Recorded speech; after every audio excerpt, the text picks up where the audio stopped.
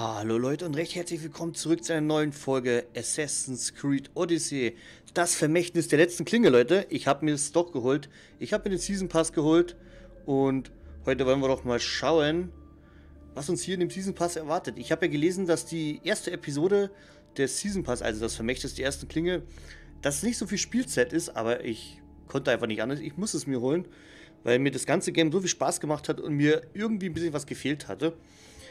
Und ja, jetzt ist ja auch Weihnachten vorbei. Wir sind jetzt hier am Silvestertag, nehme ich jetzt hier gerade auf. Ihr seht es natürlich ein bisschen später alles, so ein, zwei Wochen versetzt, weil ich ja immer ein bisschen vorproduziere, dass ich halt einfach immer ein bisschen Material auf der Platte habe und ja, ich dann hier keine, äh, keinen Stillstand habe von den Videos. Deswegen tue ich immer ein bisschen vorproduzieren. Falls ich mal an ein paar Tagen nicht so Lust habe zum Zocken, kann ich trotzdem aber immer wieder was hochladen für euch und ihr seid immer dabei. Vielleicht ein bisschen verspätet, aber naja. Ist ja auch egal. So, Leute, dann habe ich mir noch was geholt. Ich mache es normalerweise nicht, weil ich das eigentlich sowas überhaupt nicht unterstütze, aber ich habe mir gedacht, komm, es ist Weihnachten, es sind die Feiertage. Ich gebe dir mal ein bisschen Geld und ich habe mir ein paar Helix Points geholt und habe mir dann auch ein Rüstungsset geholt. Wie das aussieht, das seht ihr jetzt gleich, wenn ich hier aus der Karte rausgehe. Aber erst wollen wir doch noch ähm, das Addon hier markieren, die Vermächtnisquest, die Reiter kommen, begib dich nach Podaidaya in Makedonien. Genau, da werden wir jetzt auch mal hinreisen. Und danach seht ihr dann auch gleich, was ich mir geholt habe hier für eine tolle Rüstung. Bleibt auf jeden Fall dran. Und wenn euch das hier ein bisschen gefällt, Leute, lasst mir doch ein Like-Kommentar oder auch Abo da. Mich alles sehr, sehr freuen. So, jetzt will ich aber sagen, ab nach Makedonien. Wir sind aktuell Level 59. Und ich habe leider nach dem Spiel alle meine Punkte verballert. Meine Skillpunkte. Dass ich jetzt hier nichts Neues skillen kann. Es ist ja ein oder zwei Fähigkeiten dazugekommen. Können wir uns auch nochmal anschauen. Und zwar, nee, der Waffenruf nicht, aber die ist dazugekommen, glaube ich. Todesschleier. Und die werden wir skillen, sobald ich hier meine Fähigkeits Fähigkeitspunkte erreicht habe, dann skillen wir das gleich. Weil wir nämlich diese Fähigkeit brauchen für eine Trophy. Und ich will auf jeden Fall hier alle Trophys machen in der ersten Episode. Ihr wisst ja, wir haben ja Platin hier gemacht und ich will es auf jeden Fall hier so weiterführen, dass sie hier alles erledigen in dem Spiel. So, jetzt aber genug gesammelt, würde ich sagen. Es ist schon wieder fast drei Minuten rum und wir haben noch nichts gesehen. So, gut, dann würde ich sagen, wir gehen nochmal auf die Karte rüber und porten uns jetzt natürlich mal hier oben hin.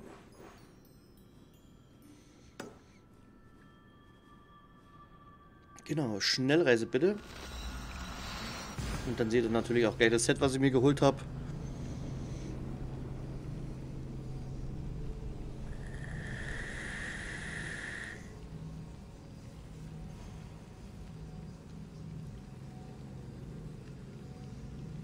Ich bin echt gespannt, wie es weitergeht hier.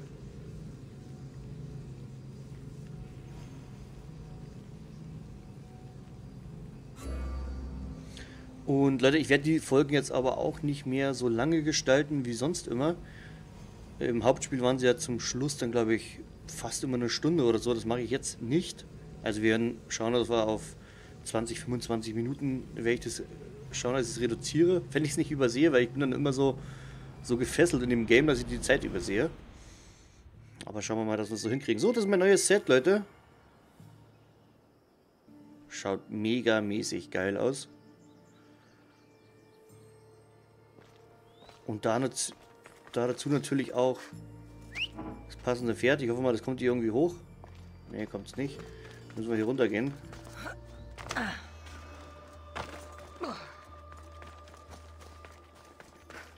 Ich gebe euch einen guten Tipp, Leute. Wenn ihr euch sowas kauft im Shop, kauft es euch nicht mit Level 30 oder so.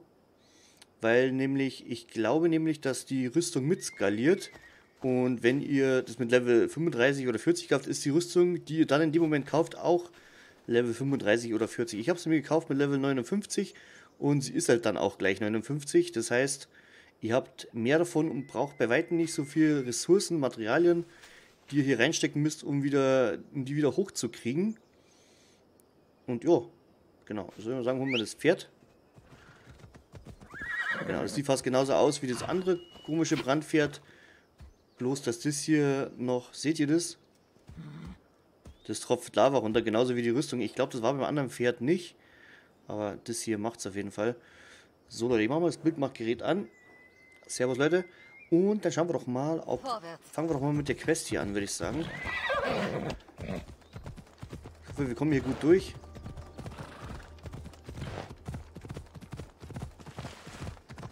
Ich kann euch die Rüstung nochmal... Ich habe es aber gar nicht gezeigt. Kann es euch nochmal schnell zeigen.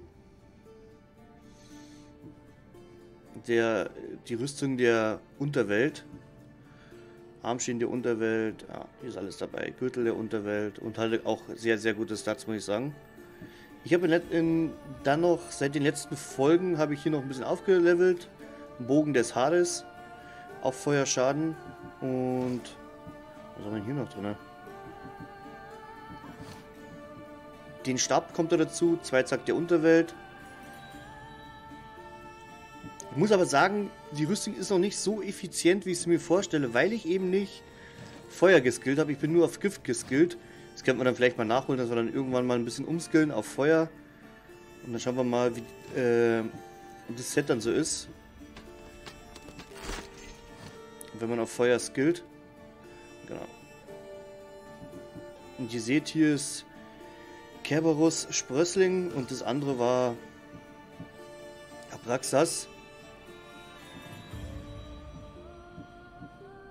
Na, sieht nicht recht viel anders aus, aber ja. Das passt halt besser zu dem Set dazu, finde ich. So. Jetzt haben wir genug gesabbelt hier. Jetzt schauen wir doch mal, ob wir hier äh, ja, die Quest erledigen können. Und die, Leute, ich muss noch einen Haufen Material sammeln. Ich brauche Fälle. Irgendwie gehen mir hier die Fälle aus in dem Spiel immer. Ich glaube, ich darf nicht so viel Rüstung mitleveln. Ich habe meistens immer zwei Sets komplett mitgelevelt. Äh, man merkt schon, dass einem dann die Materialien ausgehen. Leute, ich gebe euch einen guten Tipp. Wenn ihr mit dem Spiel anfangt oder vorhabt, euch das zu kaufen, ihr fangt an, nimmt alles mit an Materialien, was ihr unterwegs finden könnt. Das Geld ist nicht so das Problem. Aber die Kosten, wenn man hier auflevelt, seine Rüstung verbessert, das ist extrem. Und ich gebe noch einen guten Tipp. In den ersten 20 bis 30 Leveln habe ich eigentlich fast gar nicht die Rüstung mitgelevelt. Und los. Ich habe dann erst angefangen, wo ich dann ja äh, legendäre Rüstung bekomme, dass sie ein bisschen mit Level. Und, aber ihr braucht halt extrem viel Materialien. Also los. nimmt euch alles mit, was ihr bekommen könnt. Die Gegend wird gut bewacht. Oder macht vielleicht auch mal so, so ein, ein, ein zwei Stunden Farmrun oder so.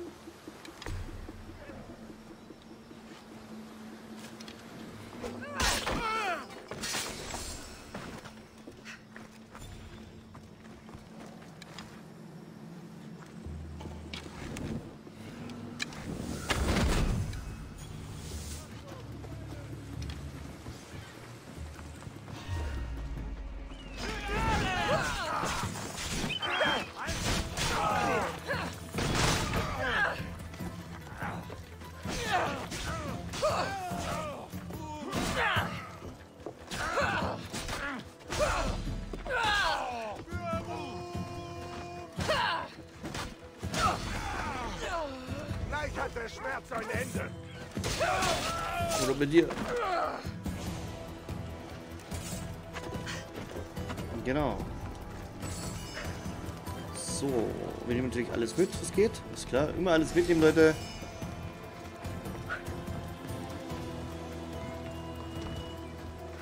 Mal schauen, wir brauchen noch einen Schatz.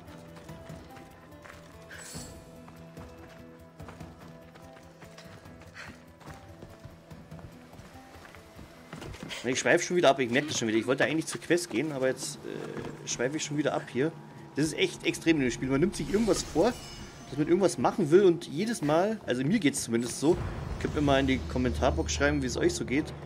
Aber mir geht es immer so, dass ich dann irgendwelche Nebendinger noch mache und das mache und das mache und das eigentliche Ziel habe ich wieder komplett aus den Augen verloren. Aber das heißt doch, dass das Spiel auch wirklich gut ist. Also meiner Meinung nach das haben wir schon toll gemacht. So, begib dich nach Makedonien. Sind wir jetzt eigentlich? Okay.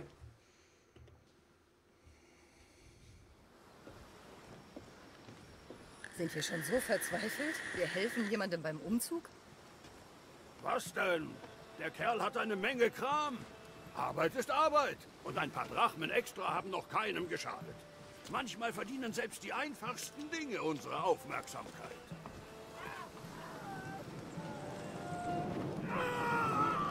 Renn ins Wasser, Mensch, wenn du brennst. Das hier hat meine Aufmerksamkeit sehr viel mehr verdient.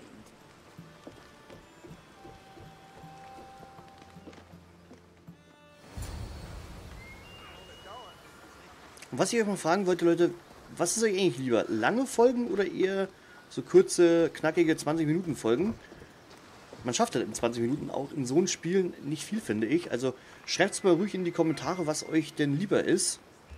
Lange Folgen oder kurze Folgen, würde mich sehr, sehr interessieren.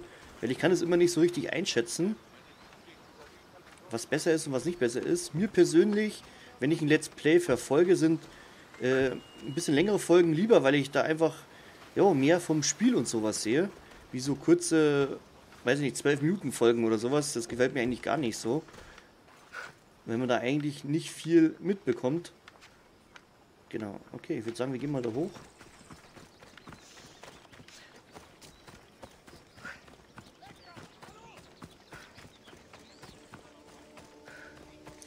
Hier ein Haufen Söldner rum.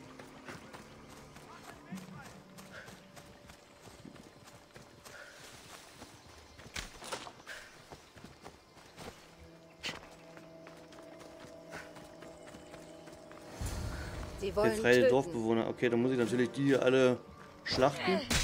Warum Unschuldige angreifen?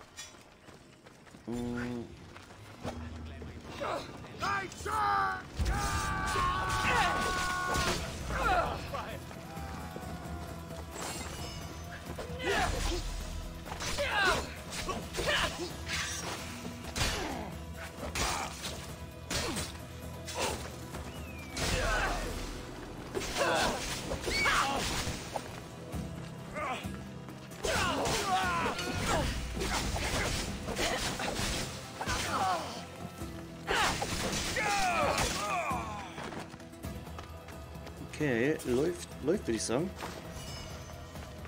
Dann können wir hier, können wir mal befreien. Dann sind da glaube ich drei befreien, ja, drei Gefangene. Dürfte normalerweise nicht so das Problem sein. Ich habe Familie. Ich habe nichts getan.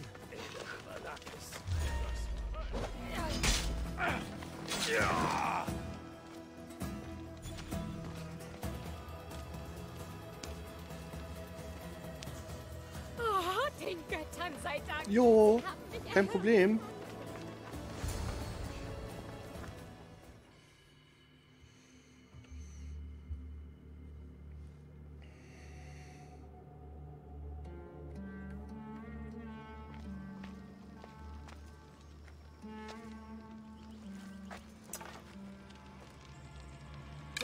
Pass auf! Doch, der war gut getroffen.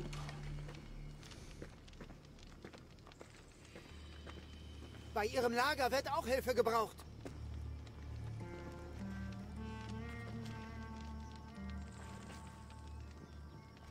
Perser?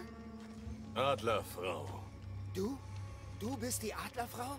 Los! Dem Jäger wird es gefallen, wenn wir ihm deinen Kopf bringen. Du kannst es gern versuchen. Das versuchen mal. Ich glaube nicht, dass du da Glück hast. Du bist Oh. kleiner, als man sich erzählt. Ich hoffe, du hattest ein gutes Leben.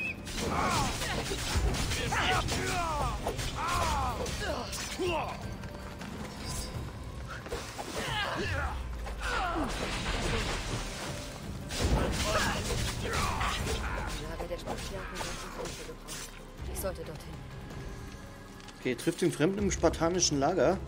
Haben die noch was Schönes? Wir haben auf jeden Fall schon wieder einen Kopfgeldjäger am Bobbes. Die werden wir natürlich auch gleich mal wegnatzen. Ja,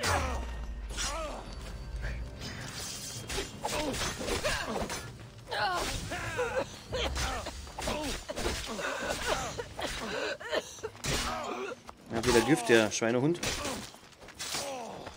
Wir heilen uns lieber mal gleich.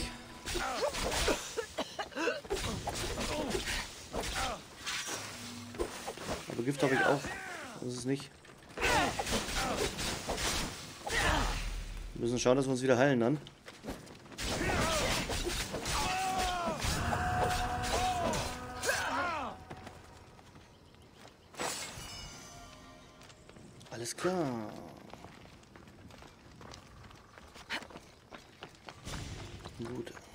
Dann gehen wir mal ins spartanische Lager. Und weißt du, was ich gespannt bin, Leute? Ich bin echt gespannt, ob es vielleicht mit diesem DLC passiert. Ich weiß es ja nicht. Ich habe ich hab mir keine, Spo äh, keine Videos angeschaut oder Spoiler. Lass mich nicht spoilern. Und zwar das Gebiet hier oben. Wann das freigeschaltet wird. Oder ob das erst äh, mit der nächsten Episode kommt. Weil ich bin hier mal mit dem Schiff lang gefahren und da ist, ist hier so ein komischer, so eine Wand drumrum. Und dann steht da, dieses Gebiet kann noch nicht betreten werden. Ich weiß nicht, ob das noch dazu kommt. Passen würde es ja, weil es ja eben, ja, nochmal so ein ziemlich großes Gebiet hier. Vielleicht kommt es mit der, mit der nächsten Episode dann. Die ja, glaube ich, auch Mitte Januar oder so kommen soll. Genau. Wer war der Junge, der Bin echt gespannt. Das macht echt Laune, das Game. Ich wusste, du kommst. Die Tötet müssen sie aufhalten. Oder Spartaner. Oh, machen wir das doch mal.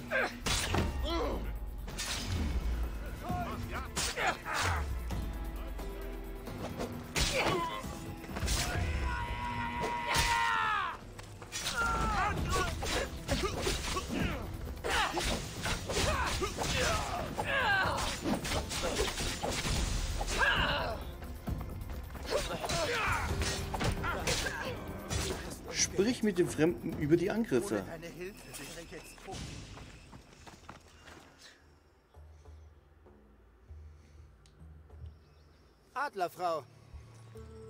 Cassandra.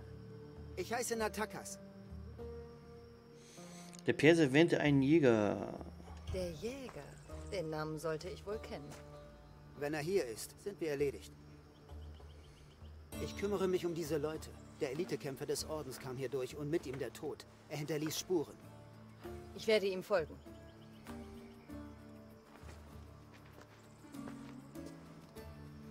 Hab Dank, Cassandra, Wofür? Dass du geholfen hast, als niemand anderes es tat. Ich helfe doch gerne.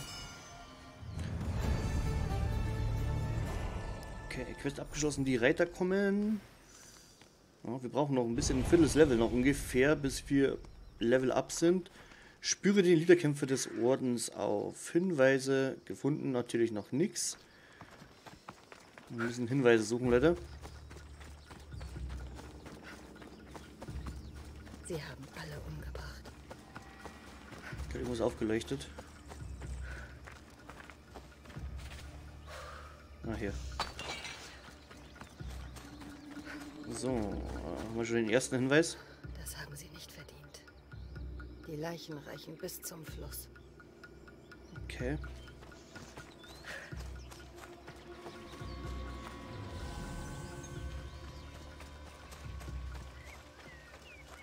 Oh, ein heftiges Gemetzel hier gewesen. Was ist da los? Rote Spartiaten. Und weitere flussaufwärts. Ich muss herausfinden, wer das war. Xerx Xerxes eventuell, hä? Woher wissen Perser, wer ich bin? Das ist ja der oberste Anführer der Perser gewesen damals. Also, wenn ich die Geschichte so richtig weiß, war es Xerxes damals.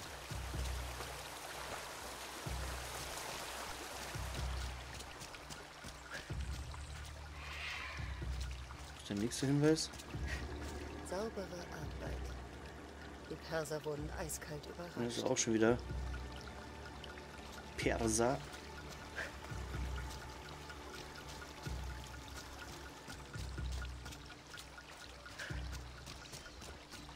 Wachen.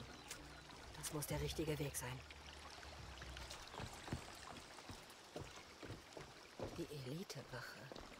Da war jemand vor mir hier, der genau wusste, was er tut.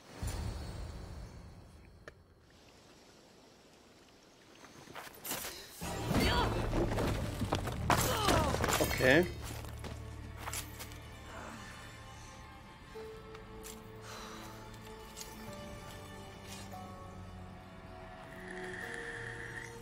Wer bist du? Mhm. Das sieht aus den anderen Assassin's Creed Teilen mit der geheimen Klinge. Ja, muss ich leider töten, das hilft nicht. Diese Klinge. Nicht schlecht.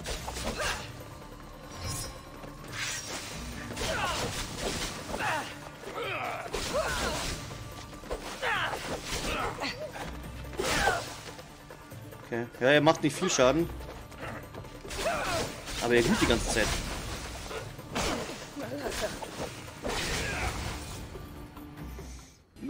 Problem. Vater, nein! Natakas, was machst du denn? Das ist die Adlerfrau. Das ist dein Vater? Die Adlerfrau.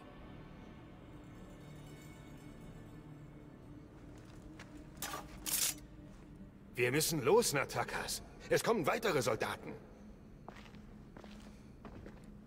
Unser Versteck ist unter dem Felsbogen. Dort findest du uns.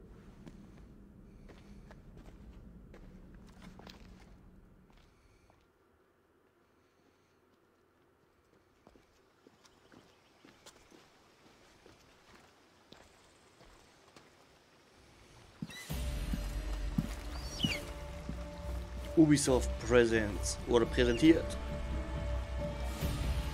Das Vermächtnis der ersten Klinge, Episode 1, gejagt.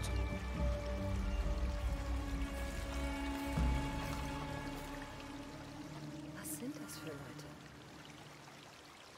Okay, Leute, ich würde sagen, was in Natakas Versteck passiert, das schauen wir uns auf jeden Fall in der nächsten Folge an, würde ich sagen. War schon ein guter Einstieg ins DLC, gefällt mir bis jetzt ganz gut, ist zwar noch nicht so viel passiert, außer dass wir einen neuen Charakter kennengelernt haben und wir, also ich denke mal, dass wir diese Fähigkeit bestimmt auch noch irgendwie freischalten mit der versteckten Klinge, weil es halt ja alles auf äh, diesen Weg äh, hindeutet. Gut, äh, was dort in dem Versteck passiert, aber wie gesagt, das schauen wir uns in der nächsten Folge an. Wenn es euch gefallen hat, lasst mir doch ein Like, Kommentar oder auch Abo da, würde mich alles sehr, sehr freuen. Und ansonsten, ja, sehen wir uns in der nächsten Folge, würde ich sagen. Ich wünsche noch viel Spaß auf meinem Kanal. Bis dann, reingehauen, ciao, ciao, euer Andi.